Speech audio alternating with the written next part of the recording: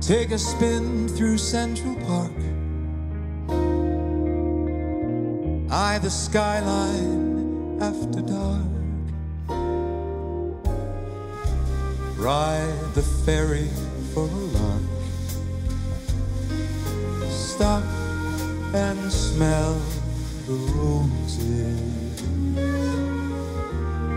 Window shop, Fifth Avenue.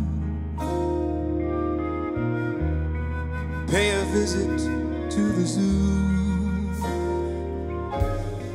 catch a Broadway show or two, stop and smell the roses,